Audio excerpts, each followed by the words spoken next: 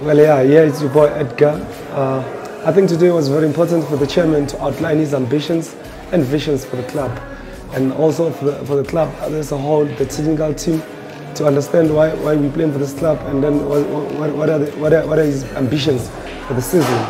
And of course, we have a, a, new coach, which is interesting, fresh opportunity.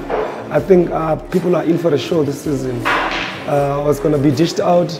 Uh, it's, it's, a very interesting uh, project, and then be happy. I think uh, we didn't lose so many players, maybe one or two out.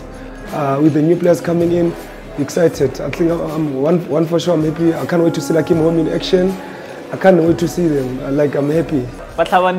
It's your boy Matlatsi Makulubela. Um, I just like to say we had a successful day today, very fruitful. You know, we learned about growing as a brand, individually and as a collective. We met with our chairman, a very, very, very successful workshop we had today. You know, we outlined everything, the vision and mission of the club. You know, like any other family, before anything else, we come together, we sit down and outline everything. Everything is in place and we're looking forward to the season with our new coach. Players are get up, look out for Marumo Gallants this season. Hi, my name is Washington Arubi, Marumo Gallants goalkeeper. Mm, we are busy with the workshop and uh, we're almost done right now.